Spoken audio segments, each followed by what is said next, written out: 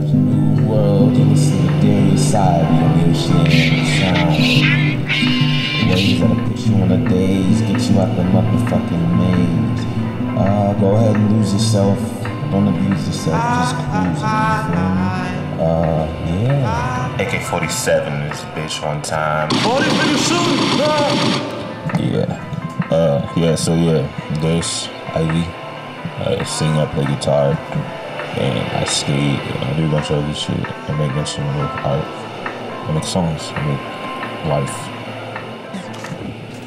Um, I'm influenced by so many artists. I can't even begin to name them off top. I'm not even gonna try to.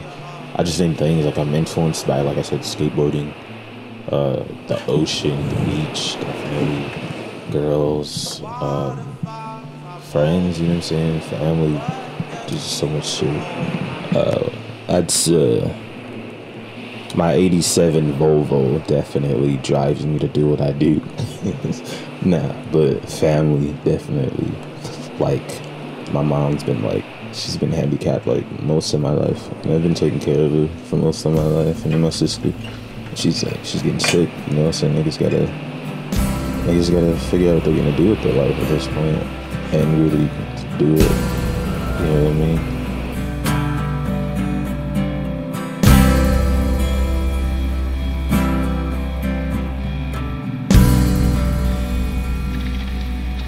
The day's been, been. Everyone I know has been offended. I only know the night time. So now I'm hanging from your lifeline. The walls have been broken. Yet so many thoughts have gone unspoken.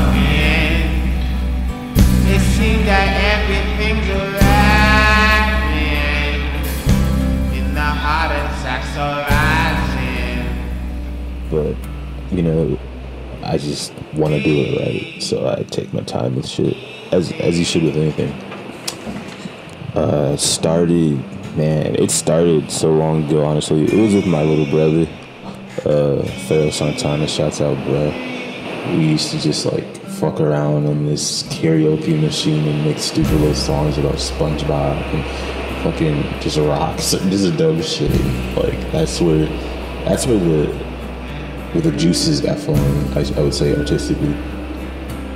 But um, as far as like when did I get serious about it? I'd say high school. High school's when like a nigga started writing his own songs and playing guitar heavily, listening to all types of music. Like tenth grade, I started writing, and then people liked that shit, so I was like, cool, like share it with you. It was never for anybody. It was for your boy. And, but you know what I mean? It turned into something.